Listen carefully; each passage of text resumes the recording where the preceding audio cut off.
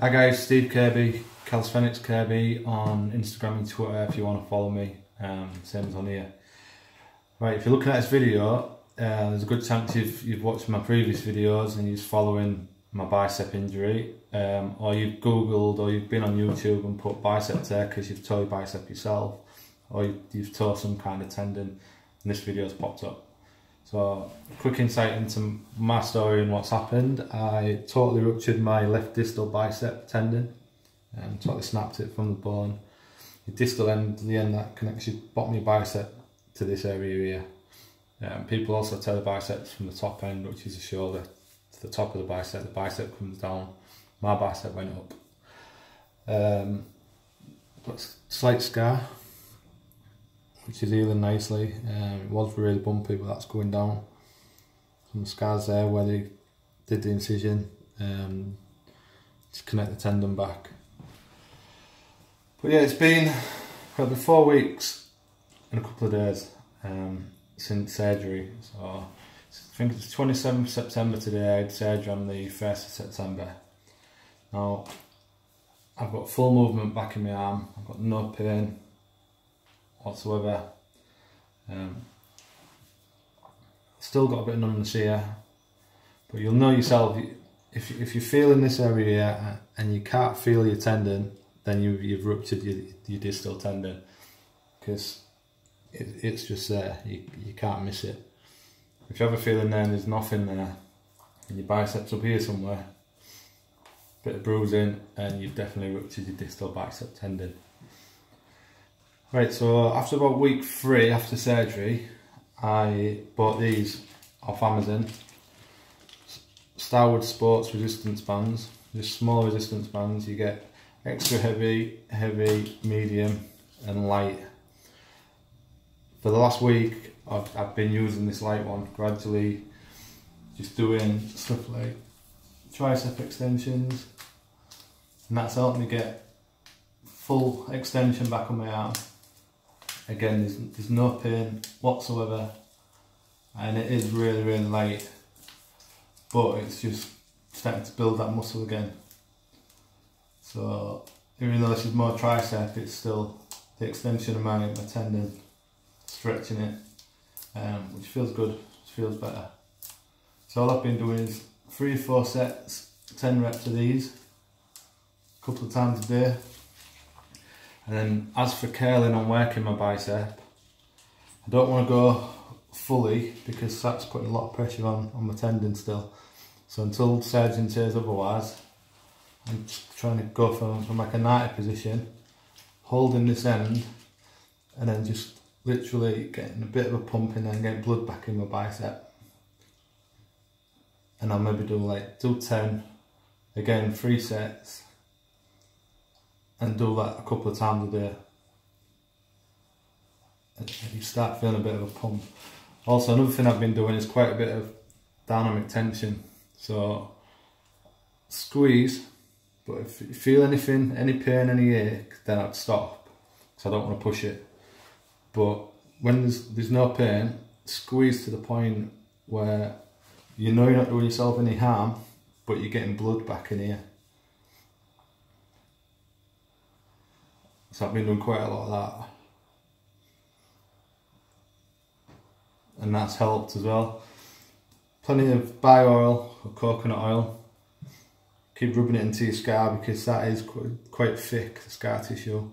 But again, it's only been a few weeks, mine's breaking down quite nicely.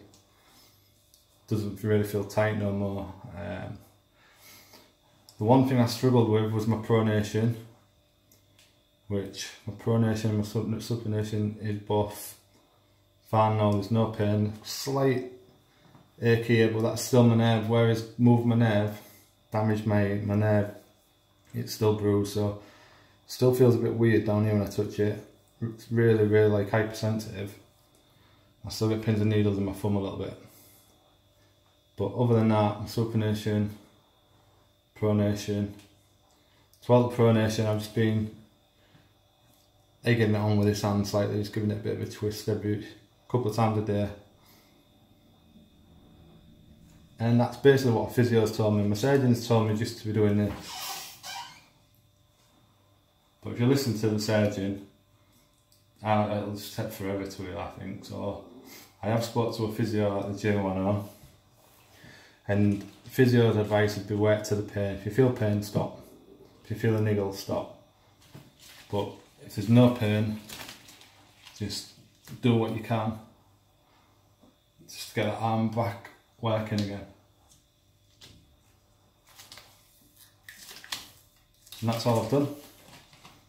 So it's just, just nearly four weeks. And coming back to life a little bit. Another thing I do, when I'm rubbing, I, I'll moisturise this um, to loosen the scar tissue and soften it up. But I've also been giving my bicep a good massage as well. Especially around this area and across the tendon. Yeah, I'm just rubbing oil in there. And I, I think that's everything what's helped.